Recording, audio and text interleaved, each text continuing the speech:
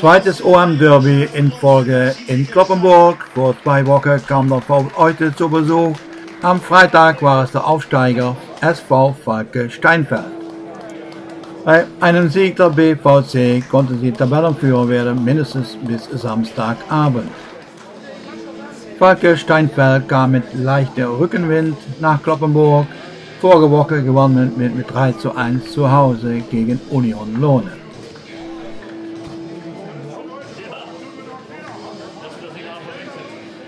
Die zwei Kapitäne, Christian Lesserfeld und Zimmermann mit der Schiedsrichter Per Ole Wendland aus Gandergesee und die Linienrichter Paul Lange und Tom Adler. Und das Spiel hat begonnen vor wieder mal eine enttäuschende Kulisse von noch kein 200 Zuschauern.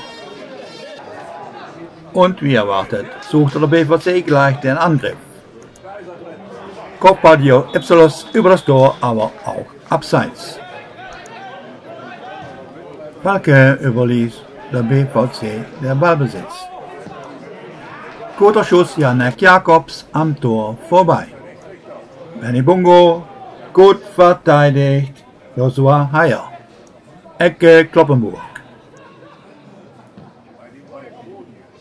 Kopfball der Capofo weit am Tor vorbei und erneuter BVC.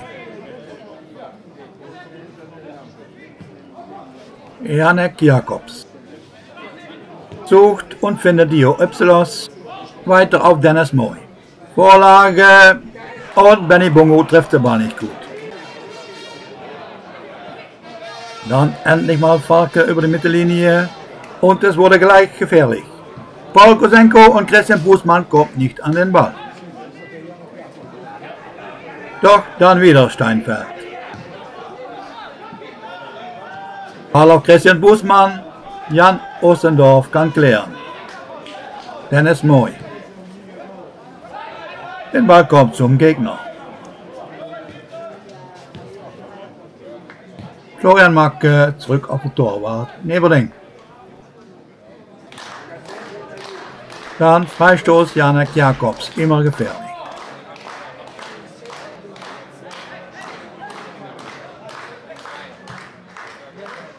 Auch dieser aber gut verteidigt. Kloppenburg bleibt im Ballbesitz. Benny Bungo. Wiederum stark verteidigt, diesmal Andreas Zimmermann. Dann Konto über links. Alexander Vogel. Der spielt ab. Ball wird vorgebracht. Da steht Paul Kosenko, wird festgehalten. Doch, es war Vorteil aber kein Tor, also der Schiedsrichter pfeift 11 Meter für der SV Falke Steinfeld. Der Übertäter war Dennis Moy. Polkosenko wird ausführen. Und eiskalt verwertet, SV Falke Steinfeld führt 1 zu 0 in Kloppenburg.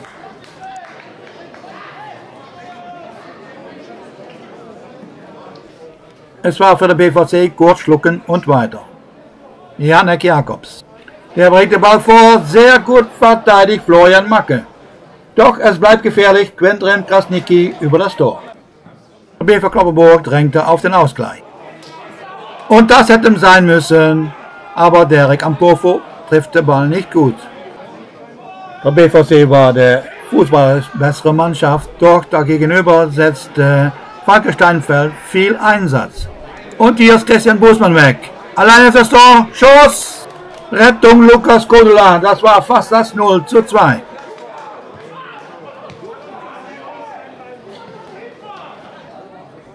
Jan Ossendorf. Nico Toben. Gut gespielt auf Bendrem Krasnicki. Und der spielte Ball auf Danny Bungo. 1 zu 1. Gut herausgespielt.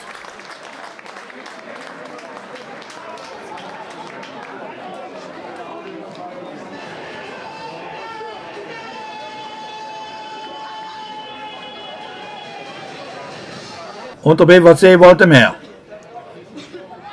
Und dann folgt eine Sendung von Communicators.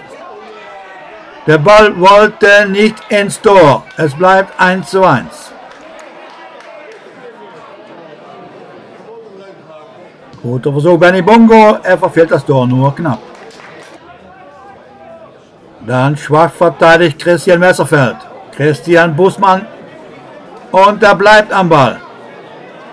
Penetriert im 60 Meter Raum, versucht ein Schuss, Lattenschuss.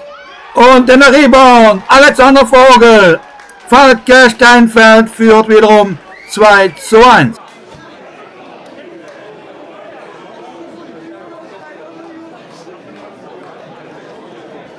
Und dann ist Halbzeit. Sehr überraschend führt SV Falke Steinfeld mit 2 zu 1. Doch gar nicht mal so unverdient. Drei Chancen, zwei Toren. Sehr effektiv.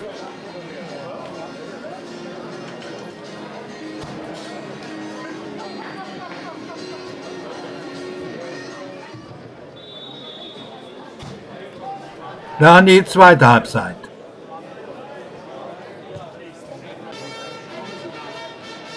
Noch keine zwei Minuten gespielt, Ecke Janek Jakobs. Und da der Gampofo per Kopf, Ausgleich 2 zu 2.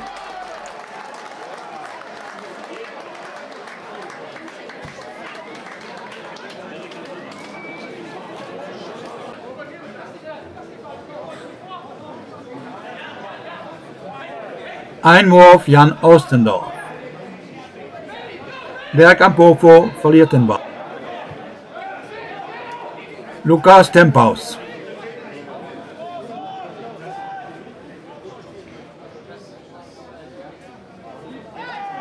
Im Repinecci, das macht er gut und da sieht der Paukosenko und 3 zu 2 Führung SV Falke Steinfeld. Schöne Aktion Maxim Repinecci und toll verwertet durch Paukosenko. Doch es war wiederum ein Abwehrfehler. Drei Spieler standen um Pokosenko, doch er konnte den Ball in die Masche besorgen. Und Kloppenburg musste wieder in die Aufholjagd. Und Chancen bekamen sie. Und sie drückte. Falke musste immer weiter zurück. Quendrem Krasnicki. Und das war ziemlich knapp. Alexander Vogel. Vorbei an Nico Toben. Und bringt den Ball vor und Lukas Kodula. Das hätte die Vorentscheidung sein können. Doch, doch danach war es wieder Probiert Kloppenburg und das ist schön gemacht gegen die Querlatte. Es war der eingewechselte Enes Moritz. Der Druck nahm zu. Die Zeit spielt im Vorteil von Falke.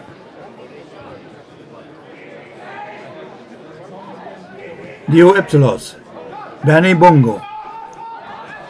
Benny Bongo kam zurück aus dem Abseits. Immer wieder der BVC. Dio Ypsilos. Enes Moritz kommt nicht an den Ball. Falke kann klären. Dann Freistoß Kloppenburg.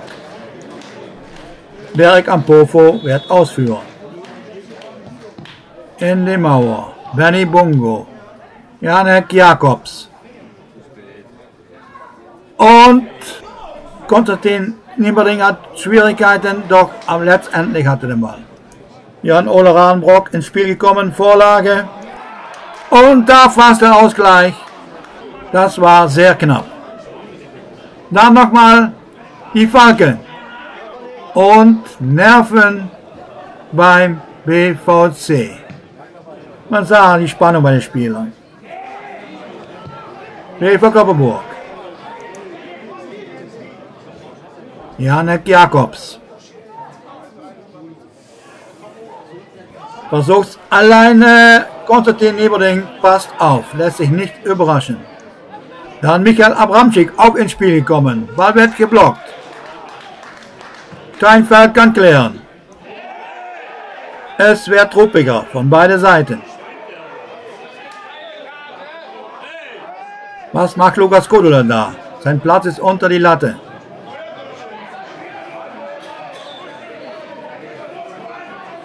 Walke versucht Zeit zu gewinnen.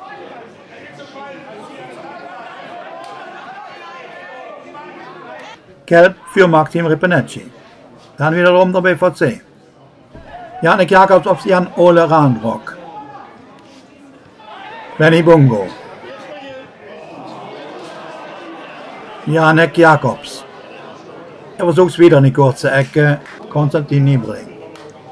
Ecke Janek Jacobs.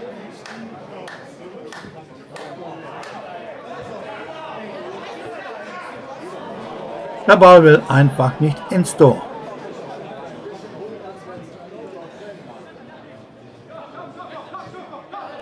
Christian Wesserfeld, Dio Epsilos. Gut verteidigt. Es ist in dieser Phase ein Spiel auf ein Tor. Doch wenn die ganz offen machen, dann muss man auch aufpassen mit Konter.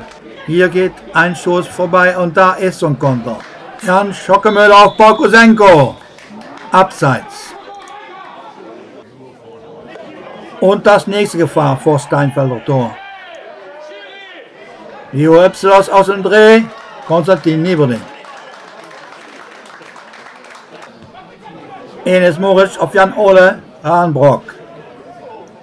Janek Jakobs auf Derek Ampofo. Vorlage und da ist er, Dio Epsilos. Ausgleich in der 90. Minute. Peinlich für die Falke, doch verdient ist es. 3 zu 3 und es gibt 6 Minuten Nachspielzeit. Das gab der Schiedsrichter an, aber es wurde 10 wilde Minuten.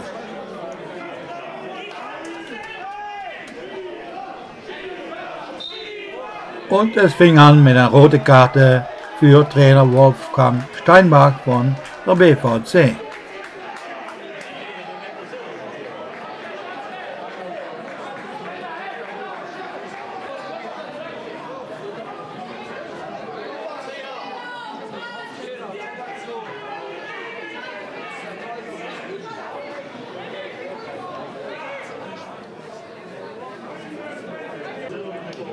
Der BV Kloppenburg glaubte noch an drei Punkte und setzte voller Druck.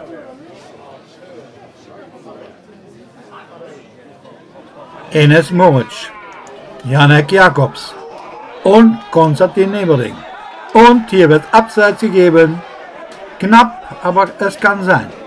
Und auch diese Linienrichter meint, dass er Schiedsrichter ist. Das haben wir vorige Woche auch gesehen bei DVD gegen heute. Ich meine, er überschreitet seine Kompetenz. Schiedsrichter pfeift ja nicht. Ich meine, es war auch ein bisschen Theater.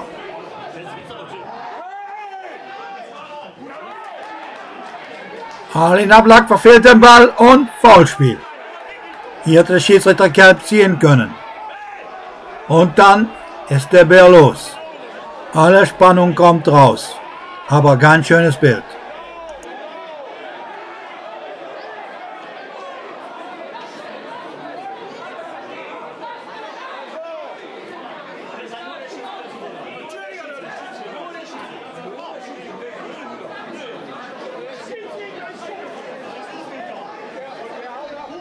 Es beruhigt sich wieder. Und was macht der Schiedsrichter?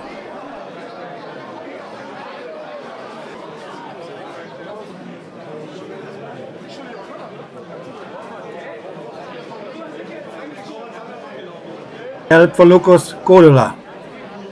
Dann gelb bei Steinfeld. Aber ich weiß nicht für wem.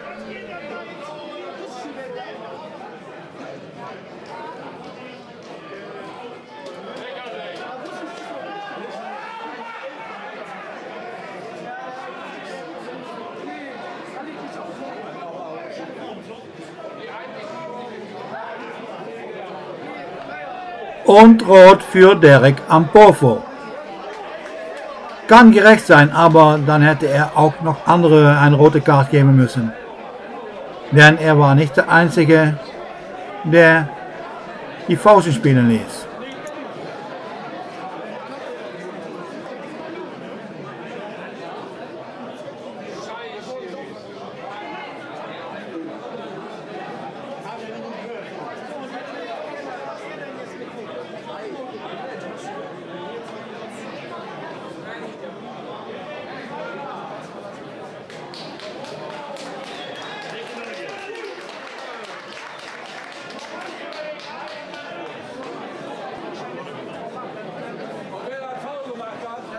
Und nochmal drei extra Spielminuten. Freistoß Christian Messerfeld. Leichte Panik bei Steinfeld. Kein Dreier, aber ein Punkt wollen sie mit nach Hause nehmen.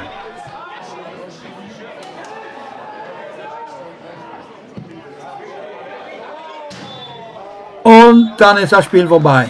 Alles andere als langweilig. Sechs Tore, zwei rote Karten, Spannung, ein bessere Mannschaft natürlich, der BV Kloppenburg, aber ein kämpfende Mannschaft aus Steinfeld. 3 zu 3. Publikum hat viel gesehen, ein echter Derby. Ich sage Tschüss, bis zum nächsten Mal, euer Niederländer.